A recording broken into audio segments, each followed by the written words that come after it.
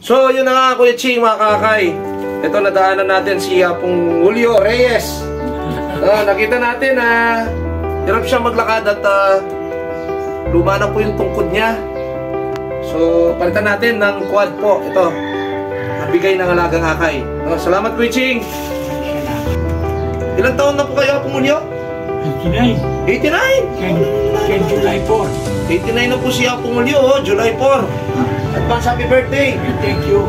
89 niya po ita, 89. Oh, July Oh, ito na yung pala yung pa-birthday namin sa'yo. Oh. Oo nga. Ako wala ka pa pa-birthday. Oo, wala pa pa-birthday si Lola. Bigyan natin ng pa-birthday si Lola mamaya. Nung ano, nung may 18 pa, may 18 pa. Ng birthday. Yan. So, Apulio, ito, tingnan mo, timplan mo, timplan mo. Makatayo ka ba?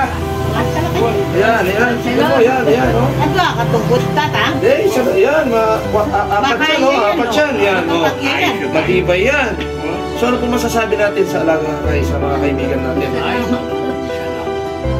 Maraming salamat po. pamangkin na pala. Maraming salamat sa alagang akay. Maraming salamat. Oh. Siyempre, kay Consular dito, ano masasabi mo? Aba, mabait Gwapo ko pa rin.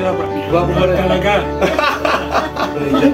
Ito pa si Lola Ija, ha, yung Oy, nung ano, yung may bahay po ni kita, Apulio. kita pang 18, 18 na anak. Kita may 18. 89! Oh, 89 na sila. Ano naman kita?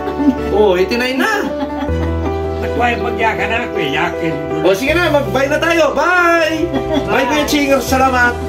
Okay. Oh, akay ni Sol na. Thumbs up ka ta. Thumbs up. Thumbs up. Yeah.